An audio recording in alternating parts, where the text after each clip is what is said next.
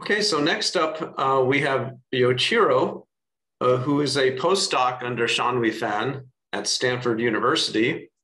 Uh, previous to that, he worked for uh, Gang Chen at MIT, uh, who has done so much seminal work uh, in thermodynamics and devices. And, um, you know, I can't even mention all the things that Gang has done. So Yoichiro is going to talk to us about fluctuation dissipation based energy and forces. And I thought it would be really um, interesting to understand more about the fluctuation dissipation um, theory and how that works and contrast that maybe to uh, what uh, Larry Ford is going to talk about after lunch. Um, so uh, thank you very much, Yoichiro, for joining us. And um, uh, please um, go ahead. Yeah, thank you very much. Um, I hope you can see my screen and can hear my voice. Uh, yes, um, yes. Okay, thank you. Yeah.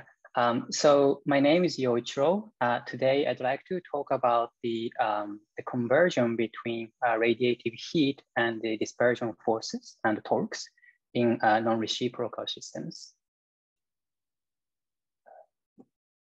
Okay, um, so it is well known nowadays that the radiative heat transfer between two objects significantly exceeds the black body limit when the separation between the objects is closer than around 10 micrometers around room temperature. Uh, this distance regime is called near field and the enhancement of heat transfer is due to contributions uh, from evanescent waves. Uh, so this is experimentally confirmed as shown in the left figure, where they measured the radiative heat transfer between silica, and the heat transfer exceeds over the black body as the separation between them uh, gets uh, smaller. Uh, similarly, when the two charge neutral bodies are in the near field, the force acts between them. Uh, so this force is generally known as dispersion force or Casimir force. The Casimir force is typically attractive force as shown in this light figure um, and acts in the direction of the separation. Uh, so these effects occur in the near field, and uh, our talk will be mainly focusing on the radiative uh, heat transfer and the momentum transfer in such uh, distance uh, regime.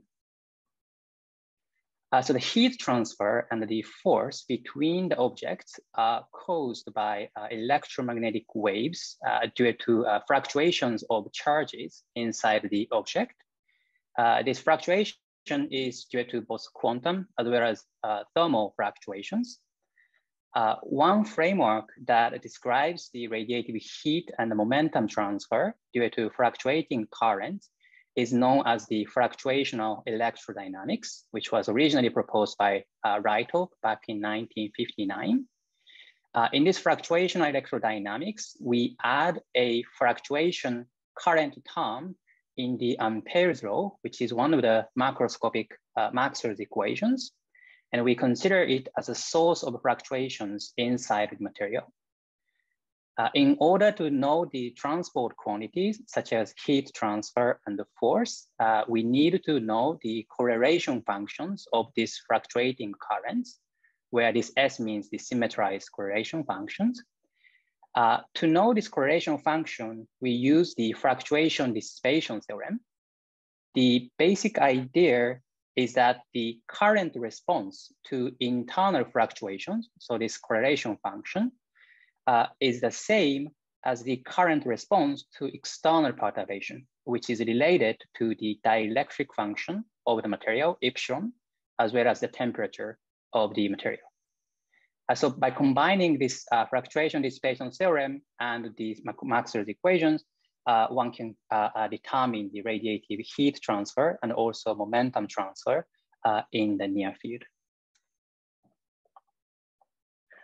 so our aim is to construct a heat engine by utilizing the fluctuation induced force acting on the body as a result of heat transfer. Uh, so if we think about two parallel plates, the typical Casimir force acts as an attractive force, in between the plates. And uh, we would need repulsive force as well if we wanted to create a cyclic motion. Uh, another way to create a sustained motion is to create a lateral force, uh, which is the force uh, parallel to the surface uh, in order to achieve a sustained motion. Uh, however, uh, one needs to break some symmetries, such as translational or rotational symmetries, to create this lateral force. And previous strategies were to use nanostructure uh, objects. Uh, recently, uh, it has been shown, uh, for instance, in this paper, that the lateral force can be created in thermal non-equilibrium by breaking time reversal symmetry uh, even in systems that have translational or rotational symmetries. And the performance of such systems as a heat engine in a steady state operation where the objects are moving has not been analyzed. And this is one purpose of our study. Uh, similar to the existence of lateral force between parallel plates, uh, it was shown that the thermal radiation from a sphere that breaks the time reversal symmetry carries net angular momentum to the radiation when the sphere is in thermal non-equilibrium uh, from the environment. And as a result, the sphere rotates. So this is the conversion of radiative heat into mechanical motion of the sphere. And the performance uh, as a heat engine has been recently analyzed in this paper. Uh, also, the transfer of angular momentum between two such spheres uh, has been analyzed in this paper. Uh, for systems that consist of more than two objects, uh, which we generally call many body systems, uh, it is known that the radiative heat transfer between multiple objects that break time reversal symmetry uh, exhibits non-trivial physics. However, uh, fluctuation-induced force and torque transfer in such many body uh, uh, systems that break time reversal symmetry has not been studied. so given that interesting physics predicted in heat transfer in such systems, we are interested to study temporal dynamics of many body systems through the force and the torque transfer.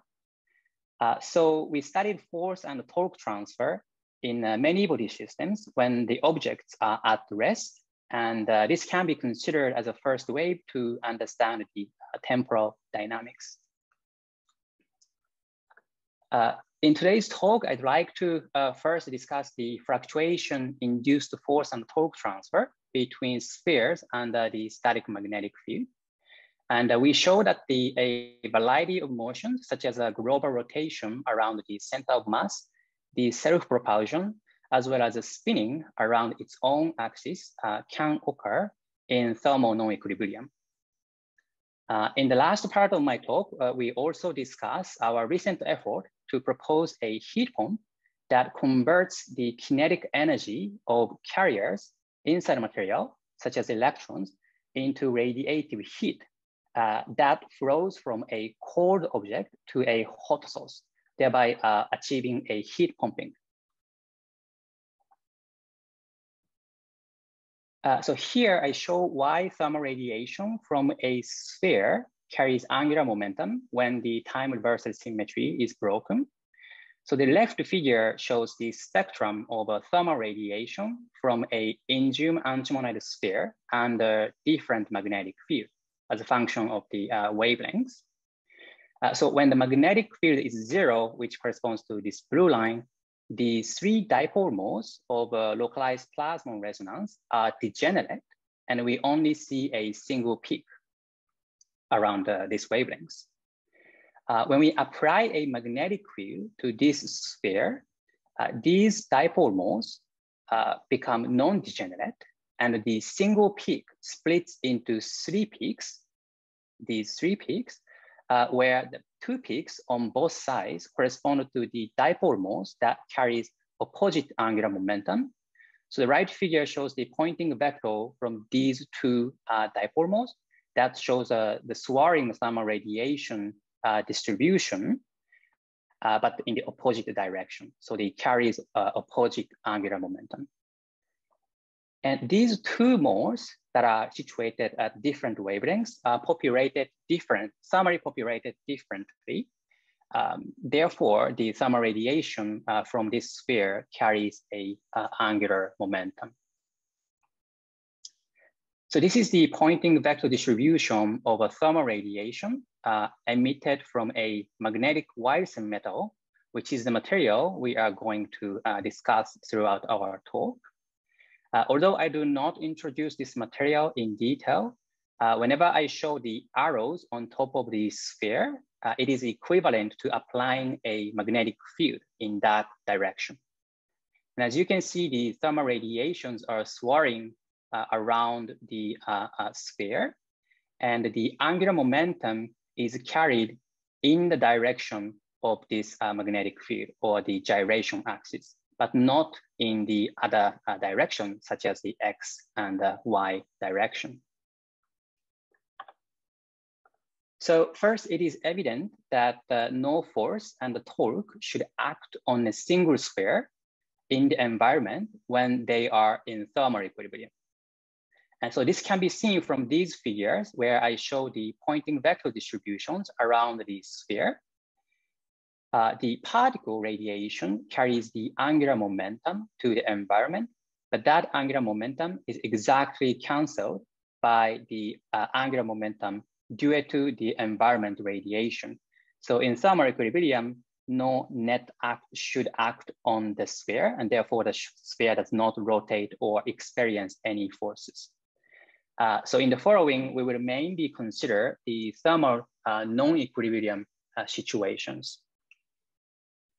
The intuitive argument uh, on why a sphere experiences a lateral force is as follows.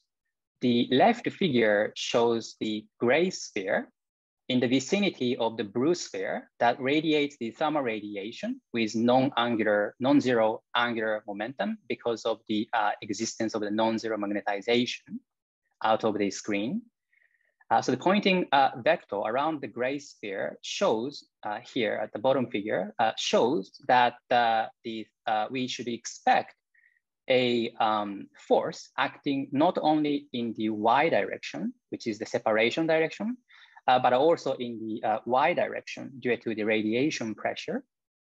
however, if we turn off this magnetization, then the thermal radiation from this blue sphere uh, radially uh, goes outwards, but it does not show any uh, angular momentum. Uh, in this case, we do not expect a lateral force acting on the gray sphere. Uh, so this is the intuitive argument as to why the force should experience a lateral force. Uh, so in the following, we developed the formalism to exactly calculate the force and the torque and uh, confirmed these uh, intuitive arguments. Uh, so the formalism that we have developed is based on the um, uh, fluctuational electrodynamics uh, uh, formalism. And the way we compute the force as well as the torque is by uh, determining the Maxwell's stress tensor and also the angular momentum flux. And we integrate over the surface of the sphere of interest. And in order to compute those Maxwell stress tensor and angular momentum flux, uh, we need to determine the total electromagnetic field around the sphere that includes all the possible uh, scattering events that can happen uh, in the system that uh, in general contains uh, multiple uh, spheres. And so to determine that, we use the scattering formalisms based on the previous work that has developed this formalism extensively. So our formalism is the exact in the framework of the fluctuational electrodynamics and it is analytical. So uh, it can be uh, computed relatively fast and is also applicable to arbitrary number of spheres and arbitrary uh, dielectric uh, functions of the sphere. So as, a, as an example of thermal non-equilibrium situations, we consider two spheres uh, under the same magnetization direction and at the same temperature at 300 Kelvin, uh, but is thermal non-equilibrium from the environment. Uh, so it is well known that the uh, radiative heat transfer uh, uh, uh, so, so I'm sorry, the uh, uh, on the left figure shows the uh, radiative heat uh, transfer between the uh, two spheres, which is the uh, blue line, as well as the from the sphere to the environment, which is this red line. Because the distance is relatively far, most radiation goes to the environment, and therefore the total radiation and the radiation to the environment almost overlaps. And as you can see, we can see similar peaks. And this peak here corresponds to the uh, equal uh, uh, zero mode, where uh, this peak uh, always exists, even if we turn off the magnetization.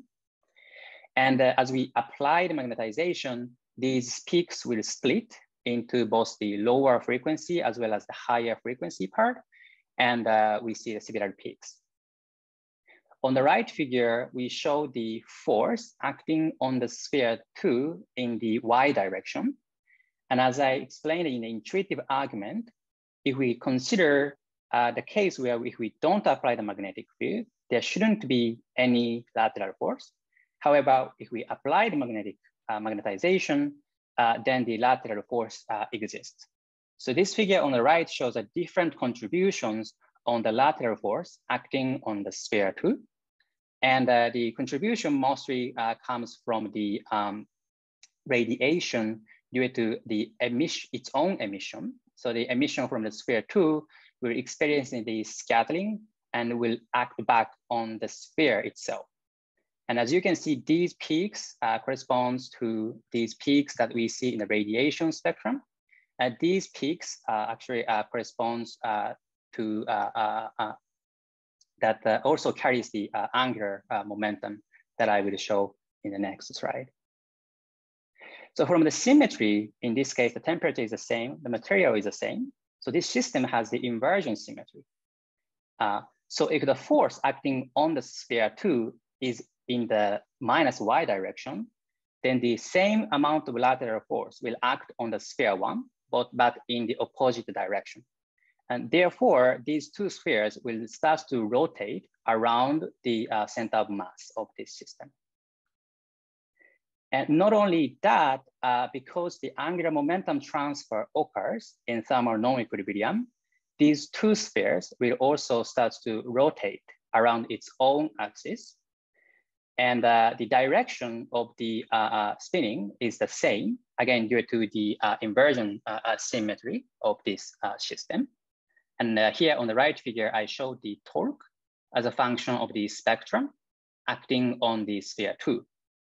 And as you can see, it's clearly non-zero, and therefore the, um, uh, these two spheres uh, will uh, start spinning in thermal non-equilibrium. now, the lateral force is purely due to thermal contributions, but the force uh, can also act due to the uh, vacuum fluctuations, but it only acts in the x directions. So here on the left figure, I show the force in the x direction as a function of the distance in thermal non-equilibrium situations. And as you can see in the uh, separation, when the separation is uh, small, this uh, vacuum fluctuation contribution or the usual Casimir force dominates over the contribution from the thermal radiation. And so when the separation between the two spheres is close, the force is attractive. And when the separation between the four uh, spheres uh, is large, then the thermal contribution over uh, uh dominates over the vacuum contribution and the force becomes repulsive. And on the right figure, I show the uh, uh, lateral force, which is solely due to the thermal Casimir force as a function of the separations. And throughout the distance regime that we studied, this direction of the lateral force uh, does not change.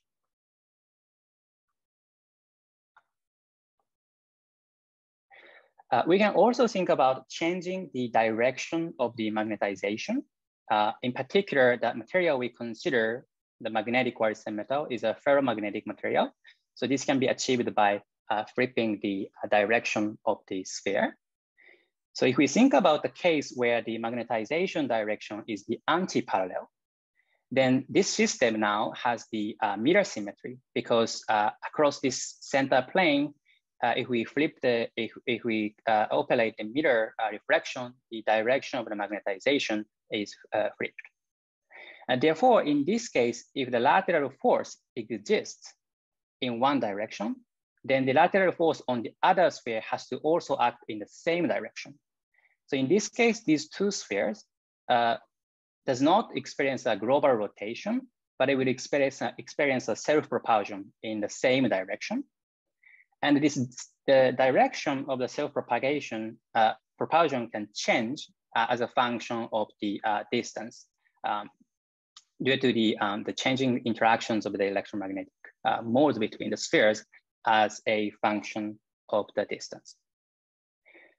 Uh, so this motion is actually related to the torque uh, transfer between the two spheres. So if we look at the torque transfer between the two spheres, uh, then because of the symmetry, the torque acting on the sphere two is the opposite to the torque acting on the sphere one. So in this case, whether the system is in thermal equilibrium or non-equilibrium, the total torque exchanged between the two spheres and, and the environment has to be zero. There shouldn't be any net transfer of angular momentum. Uh, this we uh, uh, rigorously calculated the transfer of torque acting on the two spheres. And as you can see, the torque acting on the sphere one exactly cancels uh, with the torque acting on the sphere two. Uh, because there is no torque transfer to the environment, the motion of the two spheres shouldn't also have any angular momentum. So the self-propulsion uh, does not uh, have any angular uh, momentum. So uh, these two uh, results make sense. so I mentioned that the lateral Casimir force is solely due to thermal contributions. However, the lateral force can also act even in global thermal equilibrium. Uh, so one question that we asked is that uh, we, we can consider different orientations of the magnetizations in the spheres, but which configuration is most stable? So we studied the Casimir energy for different uh, orientations of the magnetizations for both parallel and anti-parallel case at the global uh, equilibrium at zero Kelvin. And we found that the most config uh, stable configuration is when the magnetization is parallel and the direction is perpendicular to the separation directions. So what it means is that if we think about two spheres, such as this, even in global thermal equilibrium, the lateral Casimir force will act in this direction so that this particle will be pushed back towards these positions, which has the lowest uh, Casimir energy.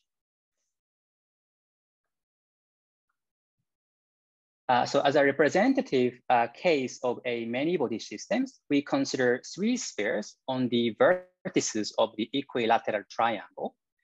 And uh, there's a very interesting work from Professor Shanhui Fan's group that uh, if we think about three systems under magnetic field, uh, the thermal radiation between each sphere and the environment uh, is equal, meaning that there is no net heat flux between the environment and the spheres.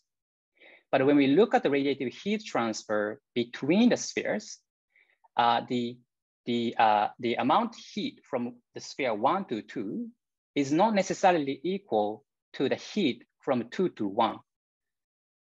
And therefore, even in global thermal equilibrium, it can be a heat flow that flows in one direction among the spheres. Uh, so this is called persistent heat current. And this is a purely uh, many body uh, uh, effects. Here on the left figure, I show the heat flux as a function with the spectrum for the two directions. And as you can see, these two uh, can be uh, different. And therefore, there's a net heat transfer circulating around these uh, three spheres. Uh, in their work, they proposed that the uh, one way to measure this one is to consider thermal non-equilibrium situations. So if we think about the case where the sphere one is at the higher temperature compared to the two, sphere two and the sphere three, the heat will be preferentially flow from one to two rather than one to three. And therefore the sphere two will heat up faster than the temperature of the sphere three. And so this is an interesting system, and we also looked at the force transfer and the torque transfer in this system.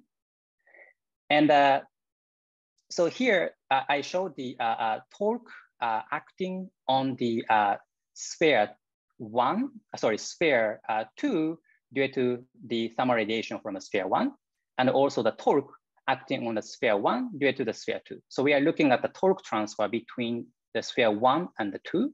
And as you can see at the frequencies where the heat flux uh, becomes different, the angular uh, uh, momentum or the torque transfer uh, also uh, becomes different. So uh, this indicates that the existence of the persistent heat flow also indicates the existence of the persistent angular momentum between the three spheres. So similarly to their proposal, uh, if we think about the thermal non-equilibrium situations where the sphere one, for instance, is at a higher temperature than the sphere two and three, because of this imbalance of the uh, angular momentum flux, the sphere two will start to rotate faster than the sphere three. And that may actually uh, be uh, used to indicate the existence of the persistent flow of uh, heat as well as the uh, angular momentum. So similar to two sphere case, we also looked at the thermal non-equilibrium situations uh, where the temperature of the spheres are 300 Kelvin, but the environment is at zero Kelvin. Uh, so we know that in this case, there's the uh, net angular trans, uh, momentum transfer to the environment. And as a result, there's the uh, lateral force acting in the x directions, as well as the uh, net torque acting on the each sphere. And so these two, three spheres will start to rotate globally, as well as the spin around its own axis, as we discussed in the two sphere case. Uh, finally, uh, we also looked at the uh, stability of the different configurations of the magnetization directions in the three spheres and computed the Casimir energy to determine the most stable configuration. So these three red lines corresponds to the three top uh, cases where the magnetizations are in the plane of the triangle.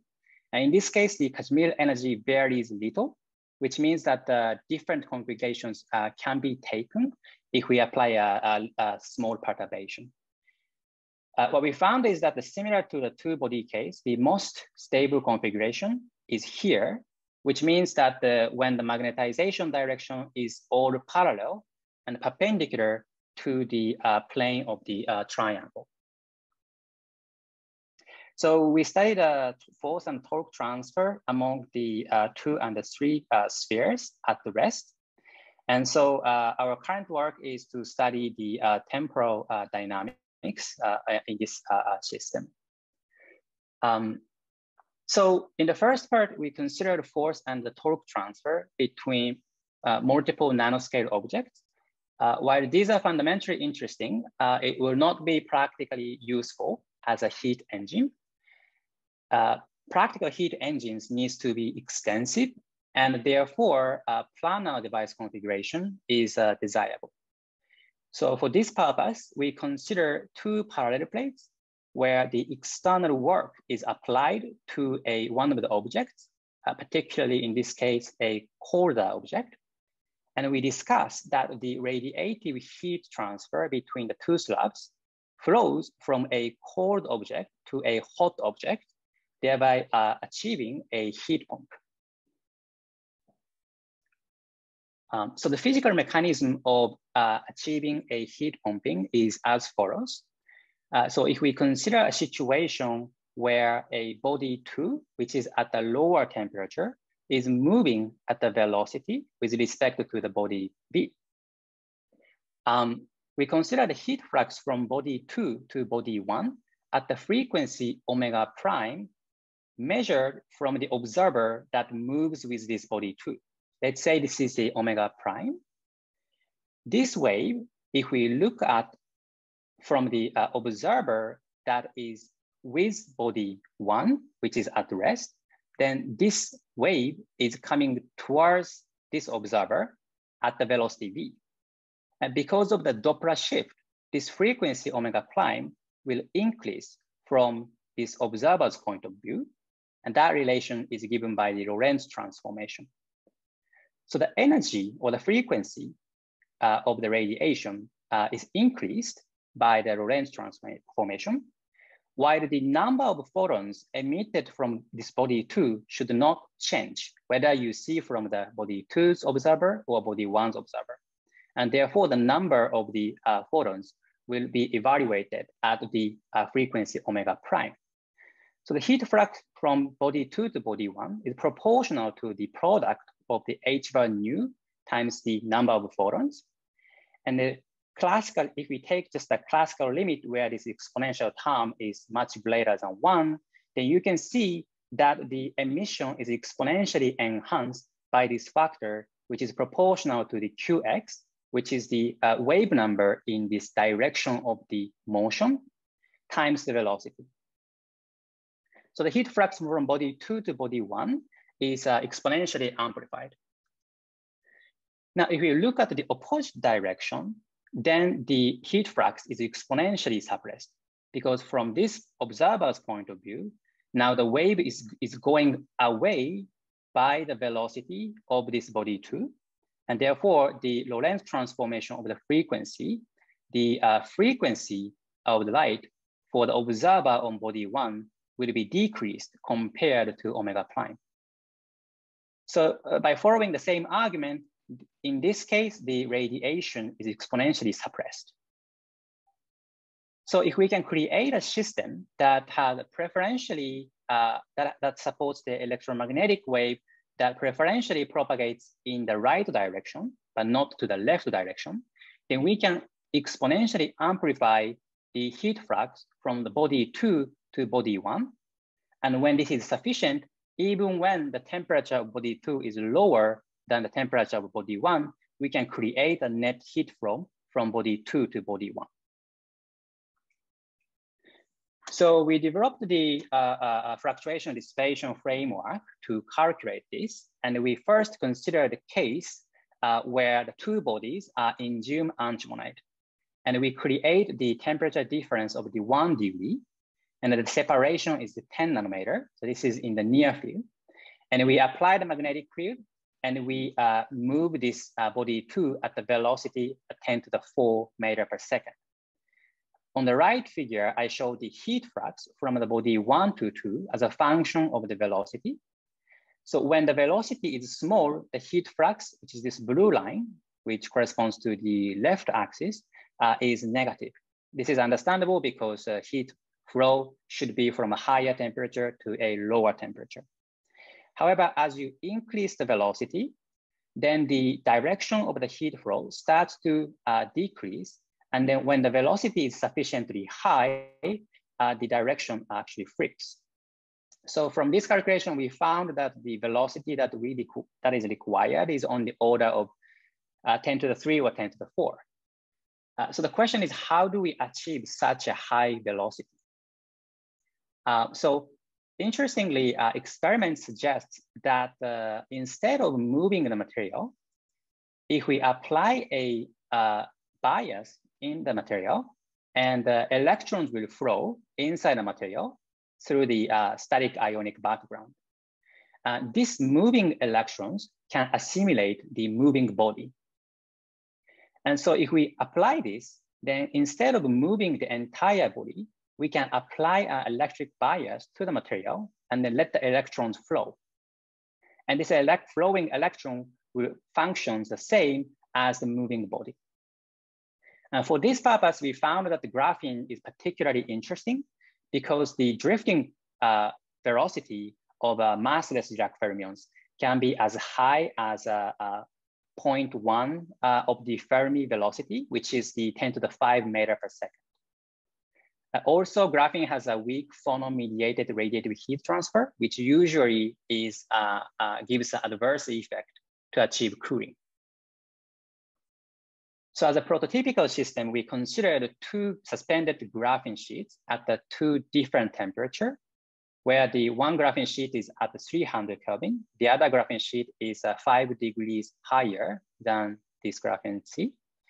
the separation is 10 nanometer. And we considered a reasonable uh, drift velocity of Dirac fermions inside the uh, graphene sheet, which is the 0.3 times the Fermi velocity. And what we found is that in this case, the net heat flow flows from a lower temperature to a higher temperature, thereby achieving a, uh, a, a heat pump. And here I show the heat flux from the body one, sorry, the lower graphene to the higher graphene as a function of the velocity. And as you can see, as the velocity increases, the heat flow direction uh, flips, uh, which means the cooling. Uh, the required work to flow these uh, electrons or the Dirac fermions inside the graphene can be estimated uh, by calculating the drag force acting on these uh, electrons, which is given by, which is shown in this figure, times the velocity. Uh, on the lower right figure, I show the coefficient of performance uh, of this uh, system. And as you can see, when the velocity exceeds, for instance, 0.4 of the Fermi velocity, the coefficient of performance can exceed one, uh, which means that uh, we can achieve uh, net cooling. so we studied the thermodynamic efficiency of this system as a heat engine. So in this case, we consider the body one is at a higher temperature than the body two. So the heat flow is body one to two. And uh, we assume that there's a force acting on the body two that is moving at the velocity v. And in this case, by using the fluctuation, this uh, electrodynamics framework that we, we, developed, if we define a uh, thermodynamic efficiency by the ratio of the work on the body two divided by the heat flux, then we can prove that this efficiency bounded by uh, this expression here, which is the Carnot efficiency, but we have this gamma term, which is the Lorentz transformation factor here. So this uh, can be understood that uh, this efficiency, all the quantities are defined in terms of the observer that is with body one. So the body two is moving, and therefore the body two, the moving body uh, looks colder by a factor over one by a factor uh, one over gamma, and this uh, uh the uh, the temperature transformation coincides with the uh, Planck-Einstein theory. So we showed that the efficiency is bounded by this expression, but practically, how do we achieve this one? And so we identified four conditions to achieve that. The first is that uh, we consider the system that is mirror symmetric across the XZ plane, which assures that the force in the Y direction in the perpendicular to this screen is zero. And also heat transfer occurs monochromatically at single frequency. We also want to eliminate any waves that has a non-zero wave number in the Y direction because these waves will contribute to heat transfer but does not contribute to creating a force. Also, if we can create a system that supports electromagnetic waves that pro predominantly propagates in the positive x direction, but not in the minus x direction, uh, which may be possible by uh, using the non-reciprocity, then we showed that the efficiency of the system approaches the, the ratio of the uh, qx times v divided by omega zero. And we also can show that this efficiency uh, reaches the uh, uh Carnot efficiency. So by uh, designing the system, uh, uh, we can enhance the efficiency of this system. And the efficiency of the heat pump is the inverse of this Carnot efficiency.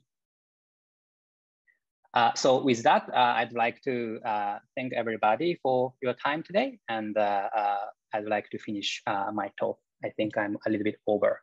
I apologize for that. Yeah, um, thank you very much, Yoichiro. Very interesting new results on the dynamics between multiple particles and the non-equilibrium fluctuation forces, and then also on the cooling that you can achieve between moving objects. And be interesting to know really does a, you know, the electrons moving without the lattice moving, you know, does that, is it really something moving or is it just an effective motion Uh, and I guess that uh, that paper that was published in Nature is pretty, they feel pretty strongly that that is the case. Is that correct? Uh, yes, I, yeah. I think so, yeah. Yeah. Um, the other question I had was um, on your next to last slide about the Carnot efficiency. And you use the, the Planck and Einstein notion that uh, object in motion is cooler, but of course that's a uh, debate, right? Um, people have, that's an ongoing debate for the past hundred years and people have thought that, well, no, it gets hotter or it stays the same. So there's, uh, you know, whether the, the gamma is in the, the whether it's in the numerator or de- denominator or not needed at all is in question. So why did you choose the um, the Planck Einstein approach? Yes. Um, so I guess I should how to say explain a little bit more carefully this one. Uh, I did not choose the uh, Planck Einstein theory. Um, so it so so this gamma factor uh, really comes from the Lorentz transformation of the electromagnetic waves, whether you see in the co-moving frame or in the rest frame. Now, this result, the reason why the gamma factor appears here is because we define the thermodynamic efficiency in this way. But I, I, I, I, I write down a definition of thermodynamic efficiency.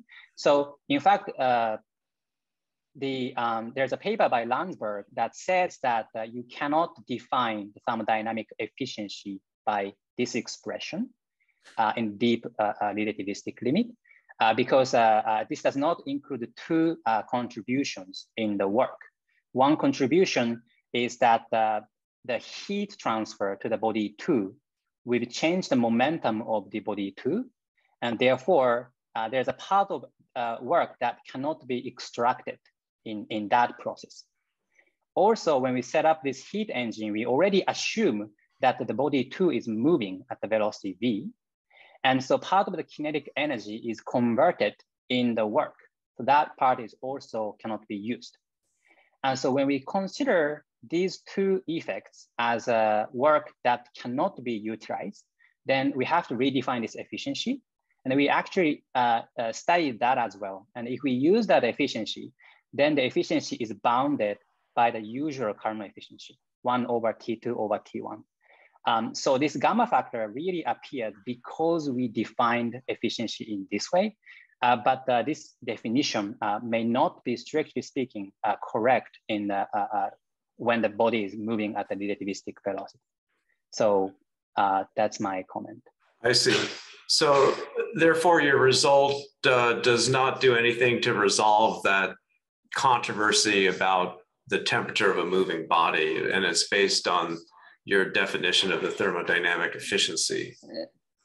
Right. So we do not transform temperature. Uh, we do not do the Lorentz transform of temperature. What we do is the Lorentz tra transformation of the electromagnetic waves in the co-moving frame or the rest frame. And this right. Lorentz transformation is well known the temperature of the body two and body one are always evaluated in the co-moving frame. So it's a proper temperature.